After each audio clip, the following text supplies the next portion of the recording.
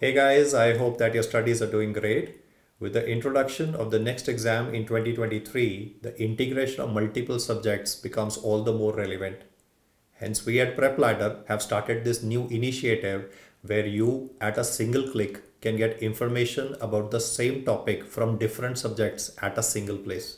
Sounds exciting? Join me for a quick review here. So let's have a look at it. Well, I'll click on module based learning and let me say I have to study the topic of bronchial asthma today morning. So I'll be clicking on respiratory system. As I move down, I can see bronchial asthma topic in pathology.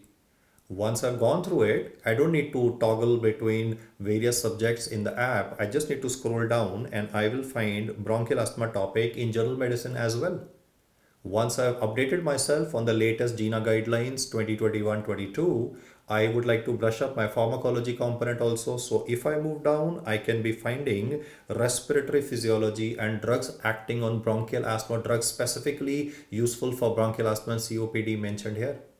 Well, as a icing on the cake, to finish my preparation, I'm also going to read about pediatric asthma at the same time. So you can see that for a single topic, pathology part, general medicine part, then the pharmacology component, and more importantly, even the pediatric component is covered at the same place.